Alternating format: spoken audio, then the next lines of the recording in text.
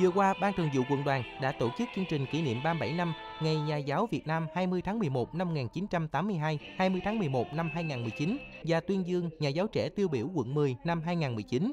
Trong chương trình, các bạn trẻ đã được lắng nghe về chuyện ngành chuyện nghề, sự khác nhau trong công tác giảng dạy của hai thế hệ thông qua chia sẻ của khách mời. Từ đó, mỗi bạn trẻ có thêm động lực, niềm tin để tiếp tục ra sức học tập, cống hiến cho xã hội. Dịp này, Ban Thường vụ quận đoàn 10 đã tuyên dương 38 gương nhà giáo trẻ tiêu biểu. Đây là các điển hình giáo viên tham gia tích cực việc học tập và làm theo tư tưởng đạo đức phong cách Hồ Chí Minh, có tinh thần trách nhiệm cao với công việc, có đạo đức tốt, chuyên môn giỏi, có cống hiến tích cực cho cộng đồng, được học sinh, phụ huynh và đồng nghiệp yêu mến. Chương trình là dịp đẩy mạnh công tác tuyên dương, nhân rộng các gương điển hình trên địa bàn quận nói chung và khu vực trường học nói riêng. Qua đó cũng động viên khích lệ tinh thần các gương nhà giáo trẻ quận 10 tôn vinh và tri ân những người hoạt động trong ngành giáo dục.